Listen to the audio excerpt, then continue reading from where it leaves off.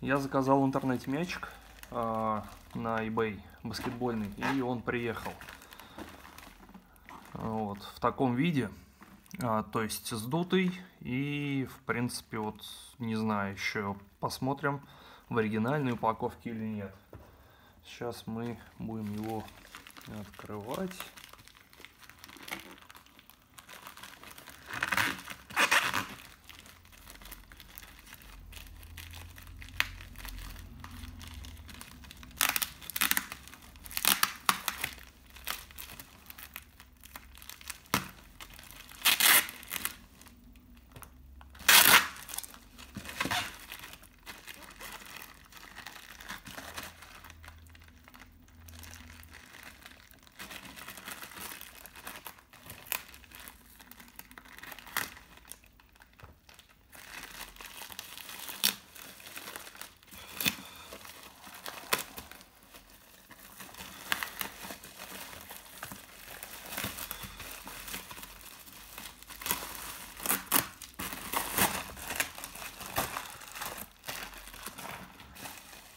Так, ну, собственно,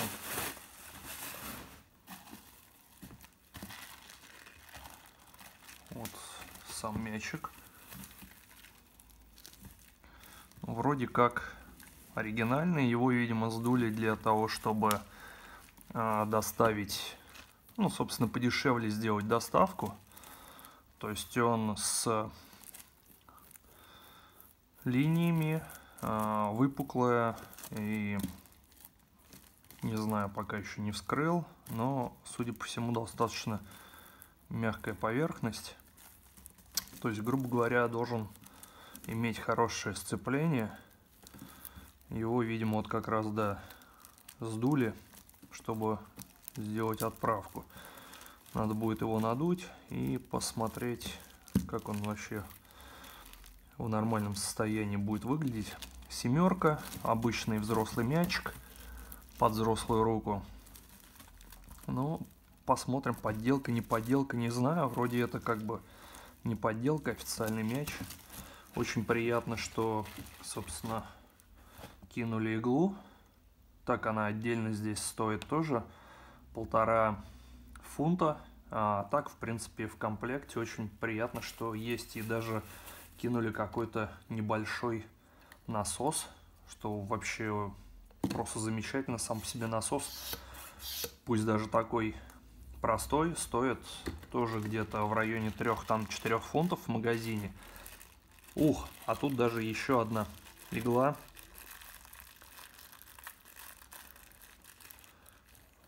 Аж две иглы пришло. Вообще шикарно.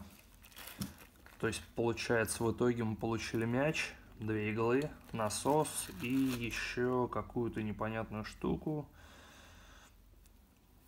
Для чего эта сетка нужна? Это, короче, сетка для того, чтобы переносить мячик. Вот. То есть вот таким вот образом, когда он будет надут, можно его ну, хранить дома, не знаю, повесить где-то в углу, чтобы он не мешался. Или таскать с собой вот в таком виде. На самом деле, когда распаковал мяч, э, оказалось не все так здорово. Вот, во-первых, у него э, все в клею. Вот. Везде клей. Э, панели отходят.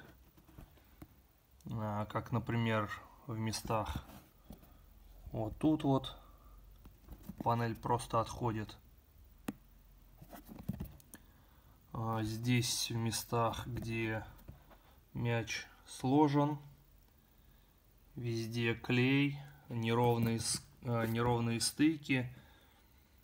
А, в общем, здесь вот где-то подошло, где-то не подошло, торчит клей.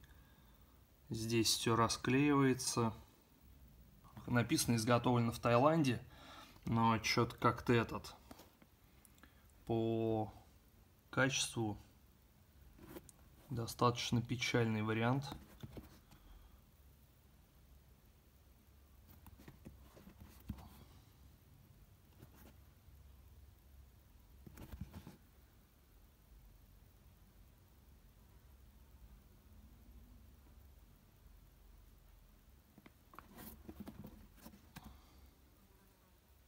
Везде клей торчит.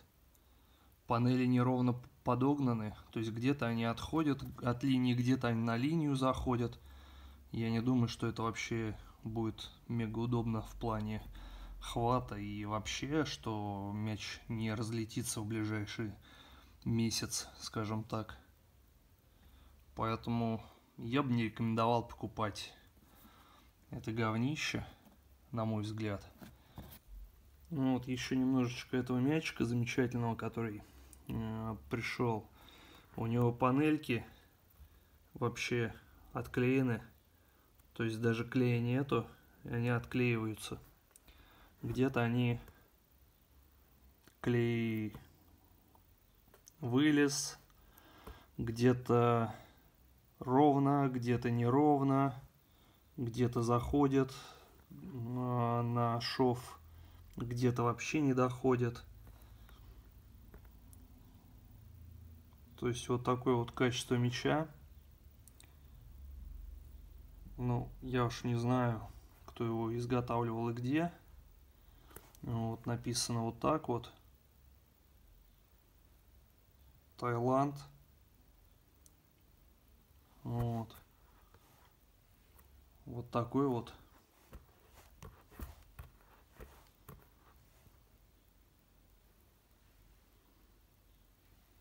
Вот, оно качество, собственно, всех его панелей и частей.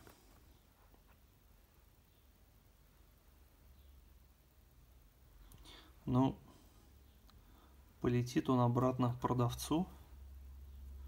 Вот. Не знаю, что продавец скажет. Сейчас отправлю ему фотографии. И попрошу полного возврата вообще за этот замечательный продукт. В общем, не покупайте дешевые мячики а, брендовые. Это подстава. Это фейк, развод. И, в общем-то, хорошо, если они будут нормального качества. Но вот, к сожалению, не повезло. Если бы он был, по крайней мере, весь проклеен, то можно было бы поиграть. Может, он развалился бы там в течение месяца. Но можно было бы нормально играть. В настоящий момент, мне кажется, он развалится гораздо быстрее, особенно если будет, э, собственно, игра на улице, в непогоду, то мячик этот долго не проживет. Вот такая вот замечательная штука. Вот. Не ведитесь на дешевые цены